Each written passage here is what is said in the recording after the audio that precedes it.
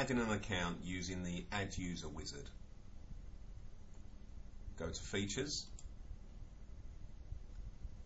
Add User. Most of it sets itself up for you and you just need to add a few details in there.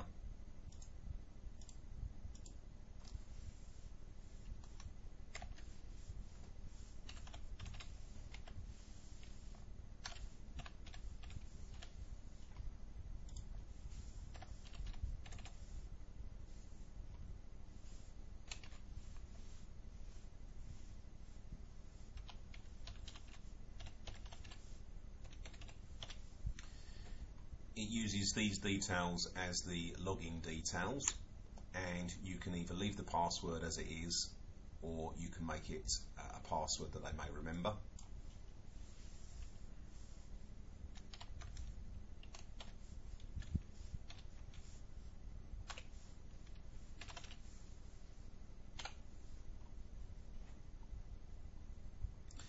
All these other settings on here you can leave as they are it auto selects the next available number and creates a password for the telephone as well. If you want these details to be sent out to the user, then you can just simply add the details in below here. I'm just going to copy that from there.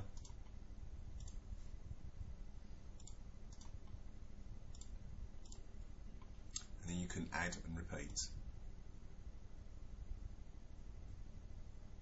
That's now set up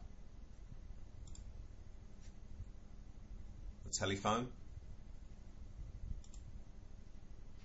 is set up the user, the person. It's also set up the mailbox too.